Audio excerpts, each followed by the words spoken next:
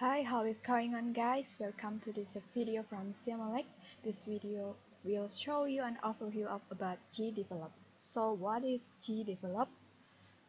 GDevelop is an open source, cross-platform game creator designed to be used by everyone. No programming skill required. So what does that mean?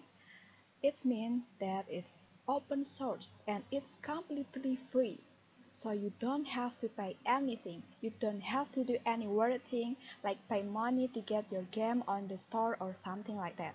Or pay money to get some feature or something like that. It's all free. If you want to download you just go to compilegames.net and click the blue download button like here. And like you see on the screen if Game engine GDevelop can be used on some platforms such Windows, Ubuntu, other Linux, and also Mac operating system. Here you have the event. This is the event editor and it what makes GDevelop unique and so easy to use are the event. Even are a powerful way to express the logic of your game without having to learn a programming language. So you don't have to learn programming language, okay? But you have to program using a visual scripting and this is a visual scripting and it's so easy as you can see on the screen.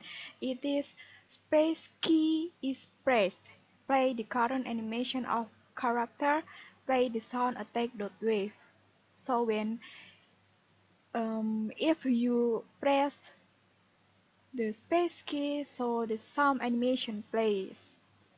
And here bomb is in collision with character. So the character is um, when touching the bomb then it can to delete the character and to delete the bomb as well. You know you just easy the step. And here you can see if we can create HTML5 mobile and native games. So the flexible architecture allow you to choose if you want to create an HTML5 game that can be played on the web and exported to iOS and Android or native game for your operating system or active both platform and export your game everywhere. So you can export to iOS and Android again and it is all free. And then we have documentation and tutorials on the collaborative wiki. If you want to learn step by step how to use GDevelop or need help about a specific feature the wiki has tutorial for beginner and complete documentation concerning the software and here we have the feature we have ton feature.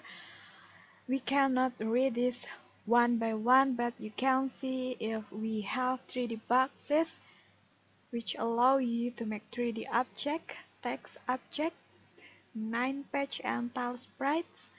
And you can see um, if it supports for custom collision mask and or RPG like maps with the tiled map object and then we can see what people say about this website about this um, GDevelop and you can see the list of the game created with GDevelop. You can download the template of the game and you also can play the games and I think it is enough for the overview of GDevelop. Thank you for watching and see you later.